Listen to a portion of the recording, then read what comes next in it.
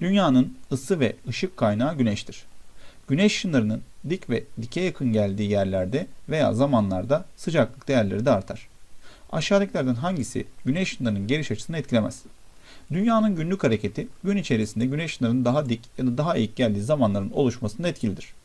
Dünyanın şekli ekvatordan kutuplara doğru gidildiğinde tabi güneş ışınlarının geliş açısı değişiyor. Ekvator ve çevresine daha dik, kutuplara daha eğik açılarla geliyor. Eğim ve bakı ki bakı güneşe dönük yamaçlar daha dik alabiliyor. Güneş ışınlarının diğer taraflar, dulda dediğimiz taraflar daha eğik açıyla alabiliyor.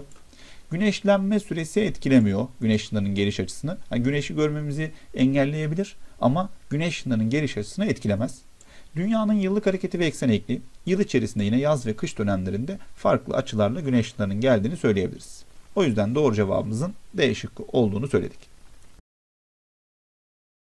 Dünyanın şekline bağlı olarak ekvatordan kutuplara doğru gidildikçe sıcaklık azalır. Bu durum aşağıdakilerden hangisini etkilemez? Akdeniz'in Karadeniz'e göre daha tuzlu olması, güneş ışınlarının geliş açısı, bunun yanında ekvatora yakınlık uzaklık, sıcaklık ve buharlaşmayla alakalıdır. Yani bunu etkiliyor. Kalıcı kar alt sınırının kutuplara doğru gidildikçe azalmasının sebebi yine güneş ışınlarının geliş açısını ekvator ve kutuplarda farklı alıyoruz ve bu da sıcaklığı etkilediği için yine etkili oluyor.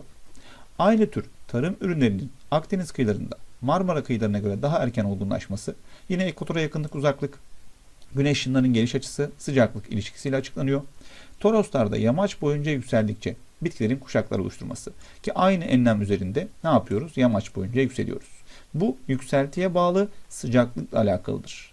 Bu ekvatora uzaklık ya da yakınlıkla alakalı değildir. Kutuplara gidildikçe buharlaşmanın azalması yine güneş ışınlarının açısı sıcaklıkla alakalı bir durumdur. O yüzden doğru cevabımız D şıkkı oldu. Türkiye'de dağların güneye bakan yamaçlarında tarım ürünlerinin kuzeye bakan yamaçlarına göre daha erken olgunlaşması aşağıdakilerden hangisiyle açıklanır? Özellikle dağların güney ve kuzey yamaçları kıyaslanıyorsa ve güney yamaçlarda Türkiye'de daha erken tarım ürünleri olgunlaşıyorsa biz bunu bakı etkisiyle açıklarız. Çünkü bakı güneşe dönük olan taraf kısmında genelde daha sıcak olmakta. Ki güney yamaçların daha sıcak olması dediğinde ve oradaki tarım ürünlerinin daha erken olgunlaşması dediğinde biz orada bakı etkisini dikkate alırız. Ki bu da doğru cevabımızın A şıkkı olduğunu bize gösteriyor. Yukarıda verilen rüzgarlardan hangilerinin etkili olduğu yerlerde sıcaklığı düşürmesi beklenir? Şimdi burada değerlerimiz kuzeye doğru artmış. O yüzden bu merkezimiz kuzey yarımkürede. Kuzey yarımkürede kuzeyden esen rüzgarlar sıcaklığı düşürürken güneyden esen rüzgarlar sıcaklığı arttırır. Çünkü güneyinde ekvator, kuzeyinde kutup bölgelerini, soğuk bölgeleri görüyoruz.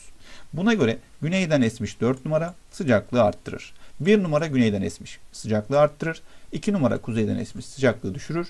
3 numara kuzeyden esmiş sıcaklığı düşürür. Buna göre sıcaklığı düşürmesi gerekenler 2 ve 3 numaralı merkezlerdir. Doğru cevabımızın C şıkkı olduğunu söyleyebiliriz. Nem oranının yüksek olduğu deniz veya göl kenarlarında yıllık ve günlük sıcaklık farkı azdır. Buna göre tabloda bulunan merkezlerden hangisinde nem oranı daha azdır? Nem sıcaklığı dengeleyici bir özelliğe sahiptir.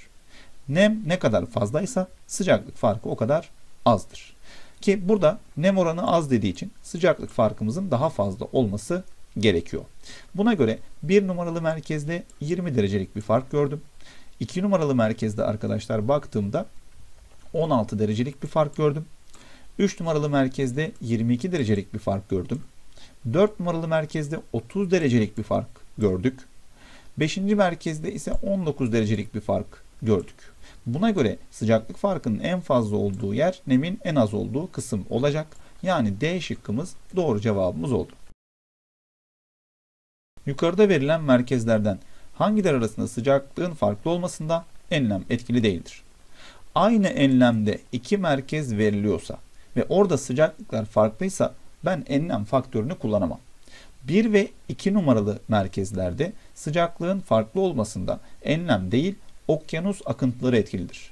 2 numaralı alanda Gulf Stream sıcak su akıntısı, 1 numaralı alanda ise Labrador soğuk su akıntısı sebebiyle bu iki kıyıda sıcaklıklar farklılık gösterir. Bakın aynı enlemde olmalarına rağmen okyanus akıntılarından dolayı sıcaklık farklı. O zaman ben bunu güneş ışınlarıyla değil okyanus akıntılarıyla açıklıyorum. Doğru cevabımın 1 ve 2 yani A şıkkı olduğunu söyleyebilirim.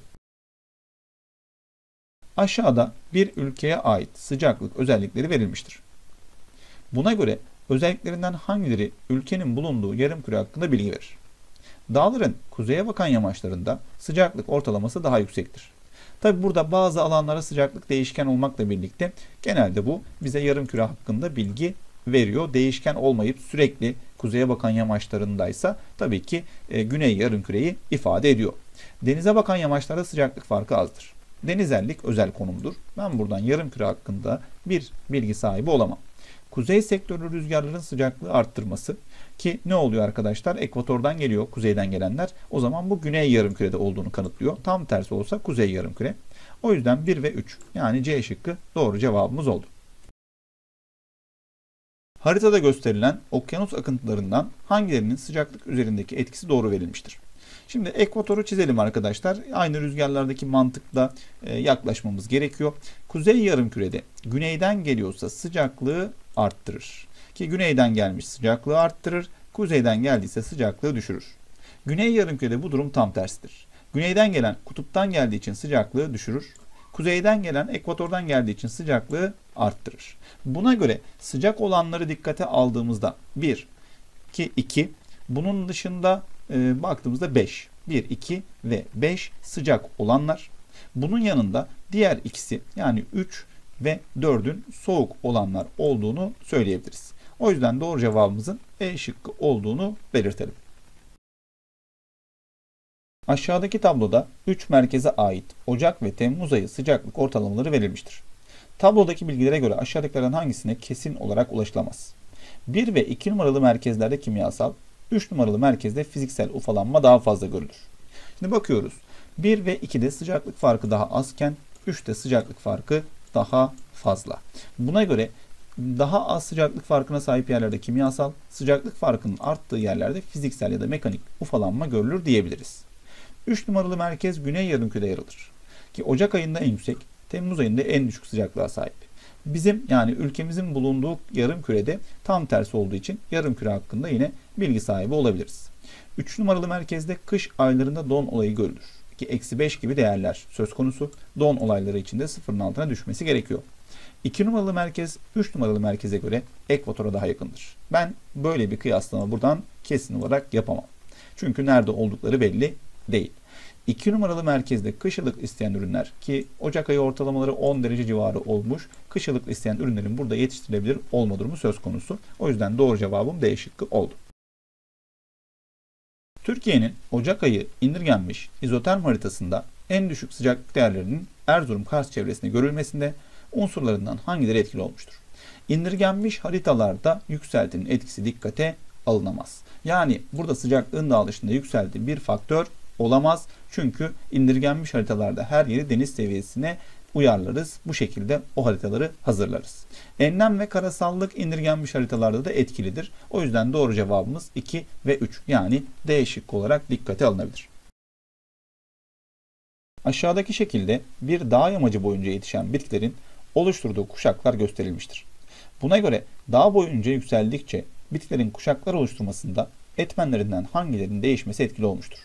Yamaç boyunca yükseltiye bağlı sıcaklık değişimi bu tür kuşakların oluşmasında en önemli ve belirleyici etkenimizdir. O yüzden burada doğru cevabımızın yalnız bir yani A şıkkı olduğunu söylemek mümkündür.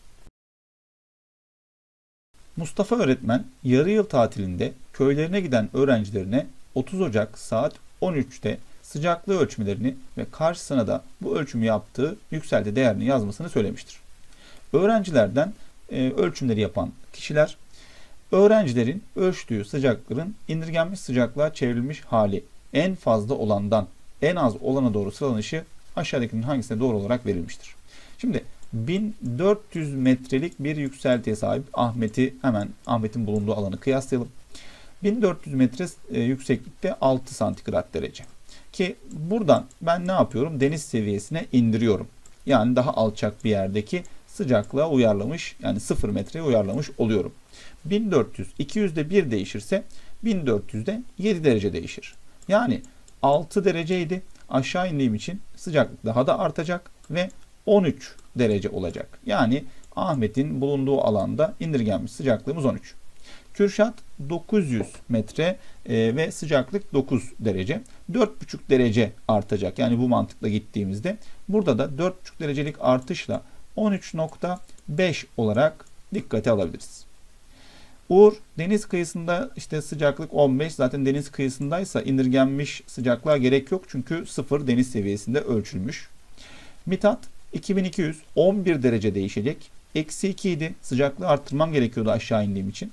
Burada da 9 derecelik bir sıcaklık olacaktır.